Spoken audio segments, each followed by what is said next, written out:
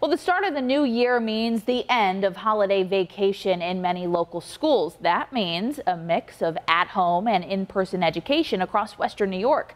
Tonight, senior reporter Eileen Buckley looks at one service that is helping students and parents tackle some of the challenges they've had to face. Students are doing so much virtual learning right now that they need that face-to-face -face time. This is the Shaw Academic Institute on Main Street in East Aurora. For the past five years, owner and founder Sarah Barber, an education expert, has been providing a variety of educational services for students in K through college in all subject areas. Barber is getting a lot of calls from parents who want to send their child to her center for that extra in-person learning and tutoring because of so much remote learning.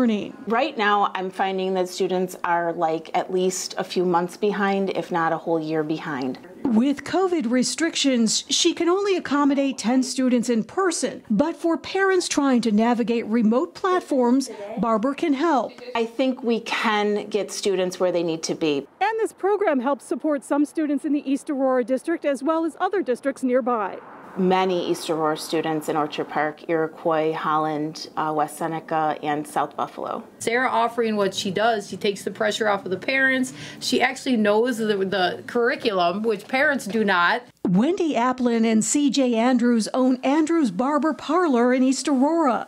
Andrews says a couple of years ago, his son Dylan was struggling, and the Shaw program was a godsend. He went to East Aurora High School, and he has since graduated and is on to bigger and better things now. Yeah, he would not have graduated. No way. There's no way he would have graduated. The couple is such big believers in the program, they promote it in their shop because so many clients come in frustrated with remote learning. I have so many parents that come in are just so frustrated, and the pain in their eyes, I can see it. And Barber shares that struggle. She's also a mother of three school age children.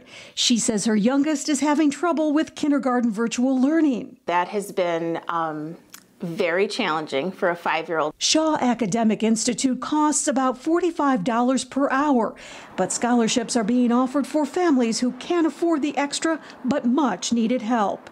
In East Aurora, Eileen Buckley, 7 Eyewitness News.